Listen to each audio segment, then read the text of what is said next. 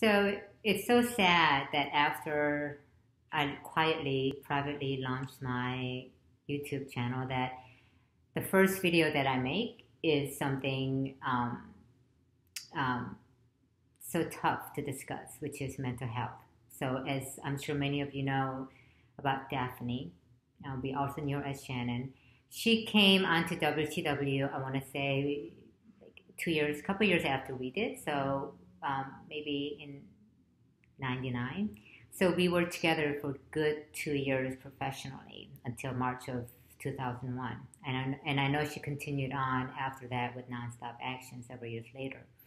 But um, even though I only knew her professionally for those two short years, I just know that, you know, she was like the girl next door.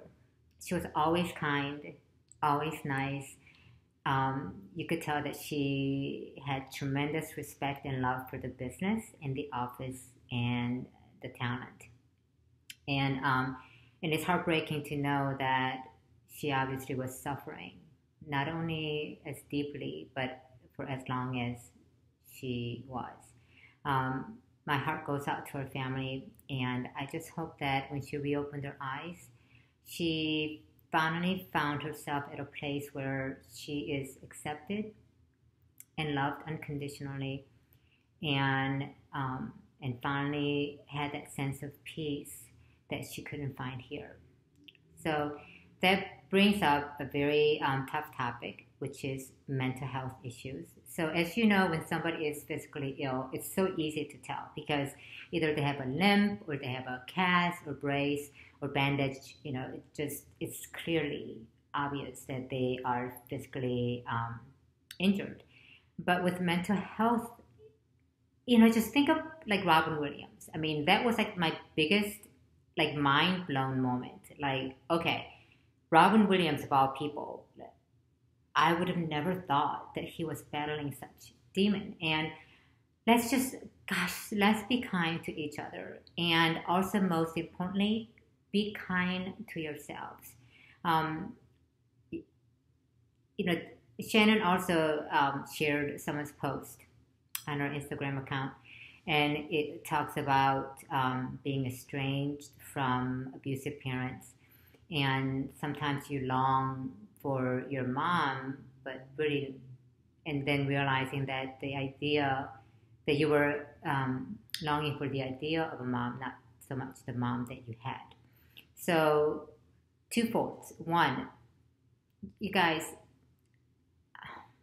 for those of you who are parents, aunts, and uncles, and grandparents, it is so imperative that we um, we nurture and we show like unconditional love and acceptance to our kids.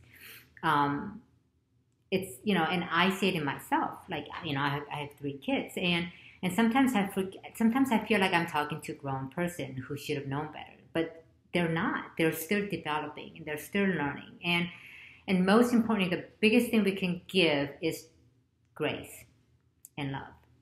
Um, and that even goes into adulthood. Why are we so hard on ourselves? I'm hard on myself. You know, with this Kickstarter campaign that I'm doing, the first few days, it was I was drowning in like self worthlessness because I had this romantic idea of what Kickstarter was, kind of like a first time parent, right? You don't really know. Nothing can prepare you. You read your books, you take lessons on how to change diapers and how to be a mom, how to be a dad. But everything that comes with it, when it actually happens, that's when you learn. So even with Kickstarter, I was only looking at this um, the the good end, the, you know, the positive side of it, and um, and I've learned more within last week about Kickstarter than I ever did reading a book. So um, I tied myself. You know, I expected it to be um, to go a certain way within the first week or so, and it didn't. And um, and I tied my self worth to the success of the project. And let me tell you, I it was tough. I it's like I felt I was drowning in my own despair, and I had to just sit back and disconnect and said, okay, why am I feeling this way? Why am I triggered of this self worthlessness feeling? Um, but really, give yourselves a break. Um, find comfort really in knowing that we're all going through the same inner dialogue, that same doubt that that we go through, that you go through, sometimes even on daily basis. So, um, this starting this Sunday to next Saturday is Suicide Awareness Week. Um, let's focus. Let's um, be very conscious to to um, reach out to those. I mean, even strangers on daily basis, and just say something, or at least give them a smile, or say something to um, not only make them feel good. It's not about um, um, it doesn't even have to be grandiose um, compliment, but just acknowledge them that hey, I see you. You know, and and there is this one um, checkout person at our local grocery store. She's so engaging. She asks how you are, and she genuinely makes eye contact. You know, and you're in a rush and you just want to get to, um, you know, do your shopping, and so that way you can go pick up your kids at school. But she may, really makes me pause and just appreciate her appreciation that you're there. Um, really, it starts with the simplest things.